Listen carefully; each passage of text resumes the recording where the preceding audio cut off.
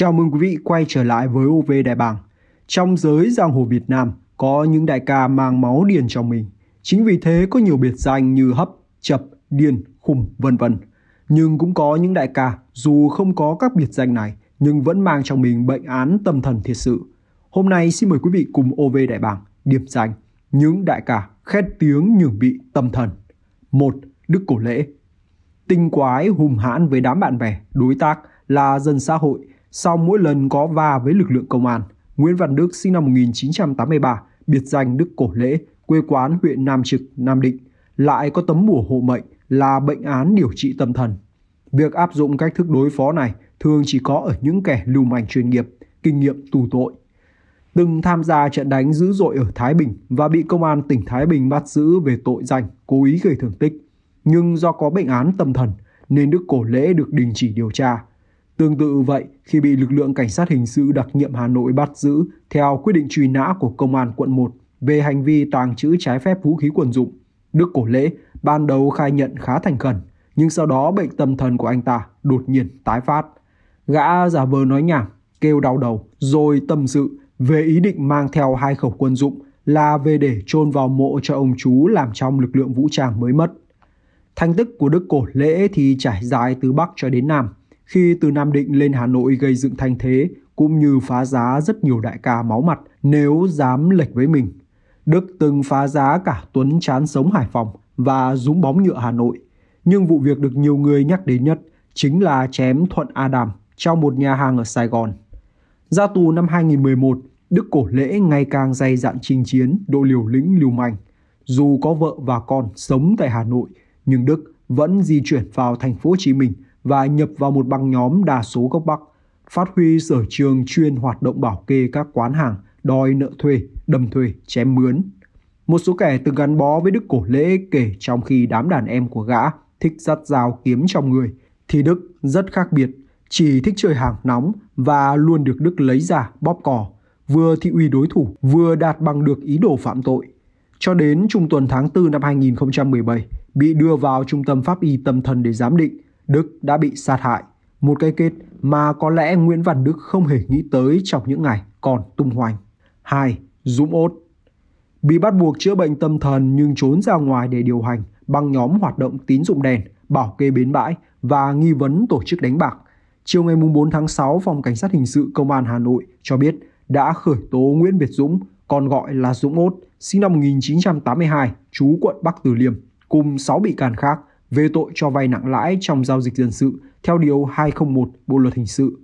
Cơ quan điều tra cũng bắt tạm giam bị can Dũng, lập hồ sơ theo quy định để giám định lại việc người này có mắc bệnh tâm thần hay không.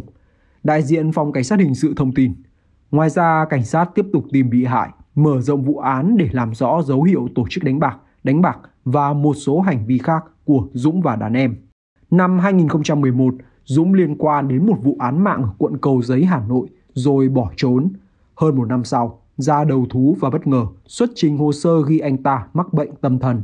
Kết quả kiểm tra giám định của Viện Pháp y Tâm thần Trung ương, cơ quan chức năng bắt buộc Nguyễn Việt Dũng đi điều trị. Từ năm 2014, Dũng Ốt bị cáo buộc nhiều lần tự ý rời khỏi nơi chữa bệnh, ra ngoài để điều hành các bị can khác lấn chiếm các khu đất trống ở hai quận Tây Hồ và Bắc Từ Liêm, dựng nhà tạm để trông giữ xe, buôn bán vật liệu xây dựng.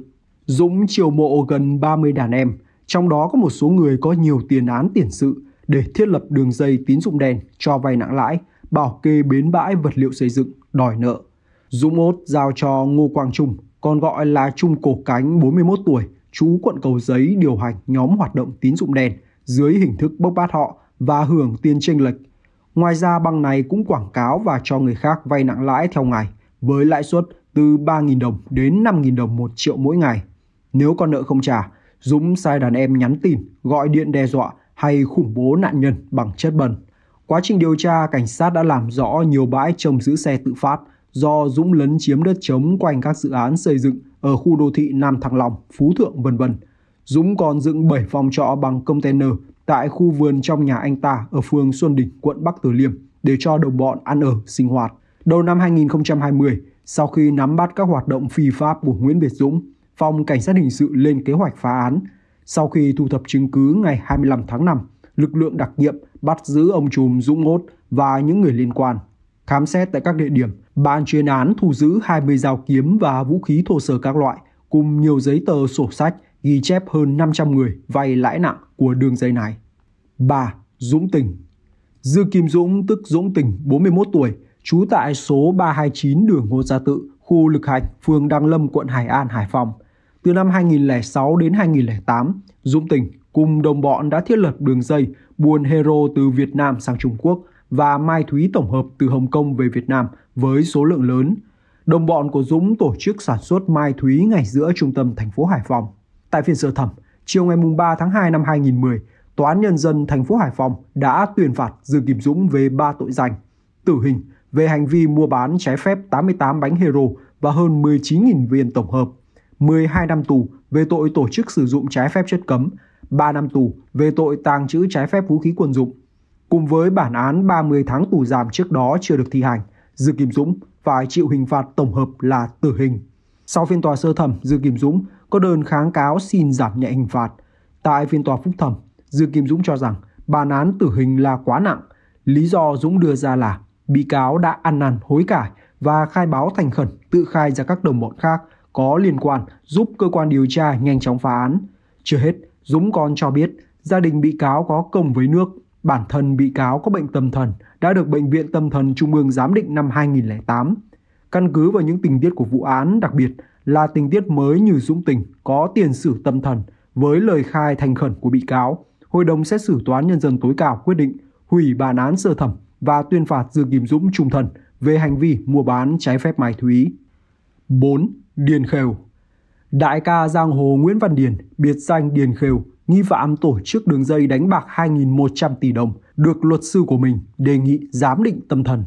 Ngày 26 tháng 7 năm 2022, Điền Khều và 14 người bị công an thành phố Hồ Chí Minh hoàn tất kết luận điều tra bổ sung, đề nghị truy tố về các tội tổ chức đánh bạc, đánh bạc và tàng trữ trái phép vũ khí quân dụng. Một tháng trước đó, Viện Kiểm sát đã trả hồ sơ đề nghị bổ sung tiền án tiền sự của một số bị can. Trước đề xuất của luật sư bào chữa cho Điền, nhà chức trách đã trưng cầu giám định pháp y, tâm thần, tuy nhiên chưa có kết quả. Công an thành phố Hồ Chí Minh cho rằng Điền ngoan cố không thừa nhận hành vi cầm đầu. Từ những lời khai của những người liên quan, các bản sao kê tài khoản, điện thoại đã đủ căn cứ buộc tội. Cơ quan điều tra bảo lưu quan điểm như trong bản kết luận trước đó đề nghị truy tố Điền, Nguyễn Văn Dương, cháu ruột Điền 25 tuổi và 4 người về hành vi tổ chức đánh bạc. 9 người còn lại bị cáo buộc hành vi đánh bạc. Điền là giang hồ có tiếng tại Campuchia, từng giao hảo với Hưng Vườn Điều, đại ca ở Đồng Nai. Vài năm trước, Điền và đàn em mở sòng bạc trường gà tại Campuchia, khu vực giáp danh tỉnh Tây Ninh, Bình Phước để người Việt sang đây chơi. Đầu năm 2020, Covid-19 bùng phát, cửa khẩu bị kiểm soát chặt, sòng bạc trường gà của Điền ế khách phải đóng cửa. Sau đó gã về Sài Gòn sống lập nhóm để tranh giành địa bàn với các băng giang hồ khác. Cơ quan điều tra xác định Điền lấy tài khoản tổng master trên trang web cá cược bóng 88XXX của người tên Khang chưa rõ lai lịch rồi phân xuống các đại lý cấp dưới cho đàn em quản lý. Người chơi sẽ trung chi vào mỗi đầu tuần qua hình thức chuyển khoản. Giúp sức cho Điền trong việc quản lý và chia tài khoản, tính toán giao nhận tiền thắng thua là cháu ruột Nguyễn Văn Dương 25 tuổi. Các bị can Cao Duy Hưng, Lầu Văn Tuấn cùng 38 tuổi và một số đối tượng khác góp tiền tổ chức đánh bạc với Điền. Nhà chức trách xác định đường dây đánh bạc của Điền đã giao dịch tổng cộng hơn 2.100 tỷ đồng.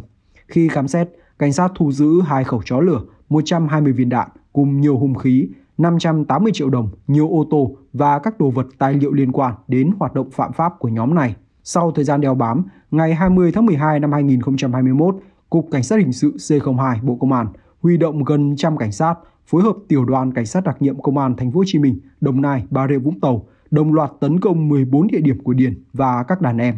5. Minh Bò Phân nửa cuộc đời xa vào vòng tù tội, những lần ra tù, Minh Bò vẫn không thể tu tỉnh mà ngựa quen đường cũ, tiếp tục lăn lóc trong thế giới ngầm, gây dựng vây cánh, rồi trở thành một ông trùm mai thúy xuyên biên giới có máu mặt trong thế giới ngầm Sài Gòn. Kẻ cầm đầu đường dây buôn bán mai thúy xuyên biên giới vừa bị cảnh sát thành phố Hồ Chí Minh bắt trên chiếu bạc đêm ngày 21 tháng 4 tại khách sạn Hoàng Nam, đường Trần Hưng Đạo, quận 5. Ông trùm Minh Bò được nhìn nhận như một đại ca giang hồ thứ thiệt. Những năm 80, Minh Bò từng là trật tự trại giam Chí Hòa khi cùng anh em của mình coi tám khu Sau này lên trại gia trung, Minh Bò còn tổ chức đốt trại để bạo động. Với một bề dày thành tích tù tội, lại sẵn máu lạnh chém người không chùn tay. Ra tù, về lại Sài Gòn chỉ một thời gian, Đỗ Đăng Minh đã nhanh chóng thu phục đám giang hồ vặt và lôi kéo về dưới trướng hàng chục kẻ đâm thuê chém bướn, phục vụ cho mưu đồ bành trướng của mình. Trong số các tay chân giúp ông trùm thể hiện số má, ngoài những kẻ du thủ du thực, chỉ đơn thuần là mang máu côn đồ, chỉ đâu đánh đó. Nổi bật lên, có một tay anh chị được Minh Bò kết nạp, đó là Minh Đại Bàng. Được tay giang hồ có tiếng này về cùng, kề vai sát cánh, Minh Bò như hổ thêm cánh, mặc sức tung hoành. Một ngày cuối năm 2009 trong một lần đụng độ vì tranh giành lãnh địa, thủ lĩnh của băng nhóm giang hồ khác là Duy Kè, tức Nguyễn Hùng Duy 29 tuổi, đã ngang nhiên thách thức thế lực của ông trùm, có lẽ để thăm dò. Dù chỉ mới vậy, nhưng Minh Bò đã cảm thấy bực mình vì bị dỡn mặt. Đại ca này đã điều ngay cánh tay đắc lực của mình là Minh Đại Bàng đi tìm đối thủ để ra tay. Nằm tại lầu ba nhà mình, Duy Ke run như cầy sấy khi thấy sát thủ máu lạnh Minh Đại Bàng cùng hai tên đầu gấu mặt mày bạm trợn khác cứ bám lấy cổng nhà mình từ sáng đến chiều với vẻ sẵn sàng sống mái. Biết gặp phải những đối thủ không vừa, Duy Ke đành phải xuống nước gọi điện gặp ông trùm để xin tung cờ trắng. Cũng từ đó Duy quy phục xin gia nhập làm kẻ dưới trướng của Minh Bò. Minh Bò còn được biết đến như là một đại ca giang hồ hùng thiệt sự khi có giấy chứng nhận tâm thần. Chính vì thế sau này, Minh Bò từng bị bắt đi chữa trị tâm thần bắt buộc tại Viện Tâm thần Biên Hòa.